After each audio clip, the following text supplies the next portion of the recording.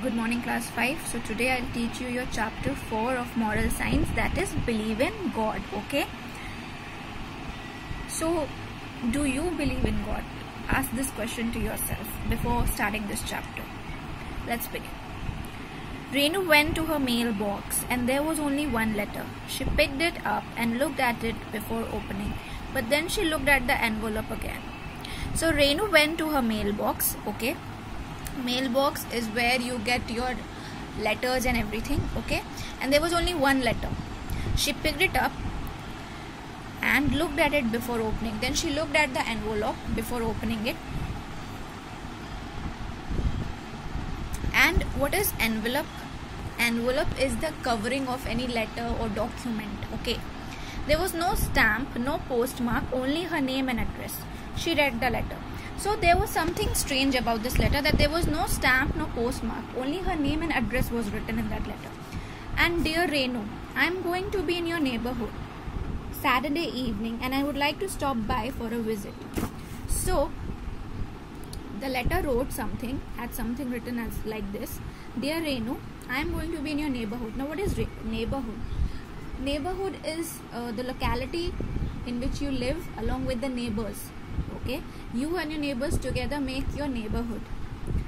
So, that guest would be there in her neighborhood in the Saturday evening. Okay, and that person said that I would like to stop by, I would like to visit you love always God. And that letter was written by none other than God. It was sent to Renu. Okay, it was sent to her. Her hands were shaking as she placed the letter on the table. She said to herself, Why would the Lord want to visit me? I am nobody special. I don't have anything to offer. Now, obviously, if you have a letter in which it's written with love, God, so obviously you'll also be shocked for a while that why will God write you a letter and why will He want to visit you? I mean, who are you? You are not anyone special. Even she had the same feelings at the same time. So she said that I don't have anything to offer. I don't have anything to give. Okay, to offer means to give. With that thought, Renu remembered her empty kitchen cabinets. Cabinets, you can say small shacks. Okay, these are you know small shacks or cabinets you can say okay small shacks or cabinets oh my goodness i really don't have anything to offer i'll have to run down to the store and buy something for dinner. So then she realized she actually doesn't have anything. Okay she actually doesn't have anything to offer to god. So she said that i will have to run down i'll have to go to the store to the shop store means shop and buy something for dinner. Because she had nothing so she had you know she needed to do some shopping. She reached for her purse and counted out its contents. So she was looking for her purse and she counted its contents means whatever was there in the purse. So it had 5 rupees and 40 paise only okay? She only had 5 rupees and 40 paise. Well i can get a loaf of bread and some milk at least. So she thought that you know she can get a loaf of bread and some milk from that money all right she threw on her coat and hurried out the door. Now you can see if she wears a coat, so you can imagine that it was obviously the winter season. It was cold, right? So she uh, put on her coat and she hurried out. She rushed out of the door. Renu bought a loaf of bread and some milk with the money left with her and kept these in a handbag and walked back home. Hey lady, can you help us? So when she was done with the shopping of bread and milk and she put it back in the bag she was about to go back home but then somebody stopped her and said hey lady can you help us? Okay somebody asked for help. Renu had been so involved in her dinner plan that she didn't have she hadn't ever noticed two figures huddled in the street. So this woman was so busy with her dinner plans she was thinking about uh, serving the god that she didn't even notice two people okay two person huddling in the street. Huddling means to gather together to crowd together all right in the street. There were a man and a woman both of them dressed in little more than rags. So both of them were a man and a woman they were a couple husband and wife okay and they were dressed in little more than rags. Rags means old clothes which is torn from here and there all right. So they were just dressed them dressed up in little more than rags. So they were a little better dressed all right moving forward. So that person says look lady i haven't got a job and my wife and i have been living out here in the street. Now it's getting cold and we are getting hungry and if you could help us lady we would appreciate it said the poor man. So that person said that look lady i don't have a job. Fine i do not work. I have no money and my wife and i have been living here you know in the streets. And now because it's getting cold we are also shivering and we are feeling hungry. So can you please help us? Can you please feed us something? And uh, we would really love that. We would really appreciate that. We would be really grateful to you for that. Said the poor man. Renu looked at both of them. They were dirty. They smelled bad. And she was certain that they could get some kind of she was not certain that they could get some kind of work if they really wanted to so obviously uh, Renu looked at both looked at them and uh, they were obviously looking very dirty and they were smelling bad. So she was not sure that you know whether they'll get the job or not.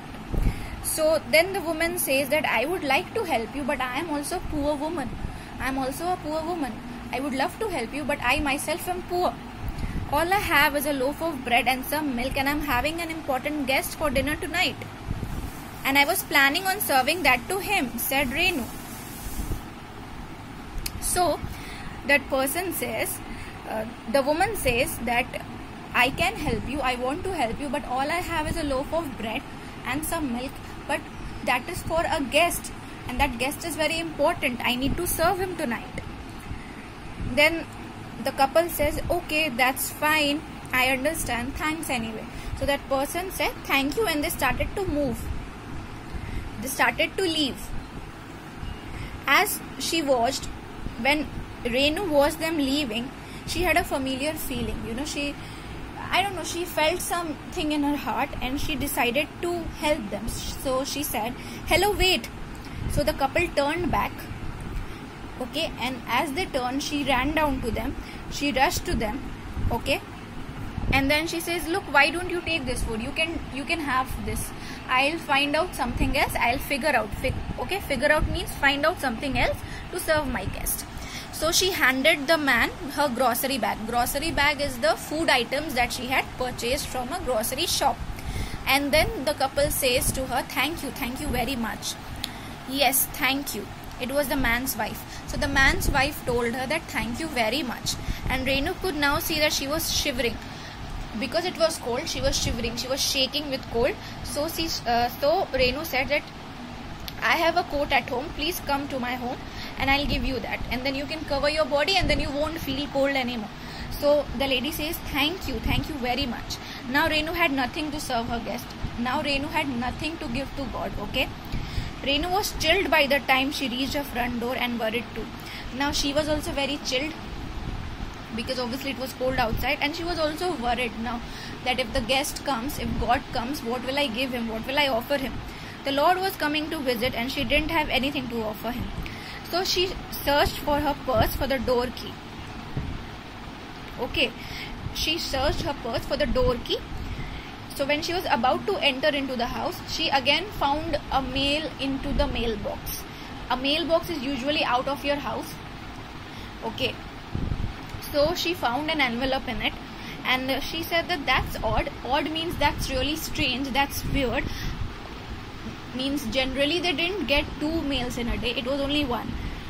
So she took the envelope out of the box and opened it. Dear Renu it was so good to see you again. Thank you for the lovely meal and thank you too for the beautiful coat. Love always God. The air was still cold but even without her coat Renu felt warmth. So when she took out the envelope and she read it it read dear Renu it was good to see you again so God has visited her once before also. Okay. And he says, Thank you for the lovely meal. Thank you for offering me a meal. Okay. Food. And thank you too for the beautiful coat. So now you realize that couple was actually God in disguise. Okay. Yeah. That was that that two people were gods in disguise. Fine. So he said love always god. So you could have read before that Renu was chilled but after reading this she felt warmth she felt like blessed to have served the god and she felt really warm. And so you can imagine that how good that feeling would be for her so the moral that we get from this story is that have faith in god. God can come in any form. It's not necessary that you know you always have to imagine god as it is shown in movies or pictures. He can be in any form. He can be in any human form. So it is always said that you know be kind to others be helpful to others show respect be generous help needy. That's how you please god. That's the only way to please god. So that's it for today. Have a good day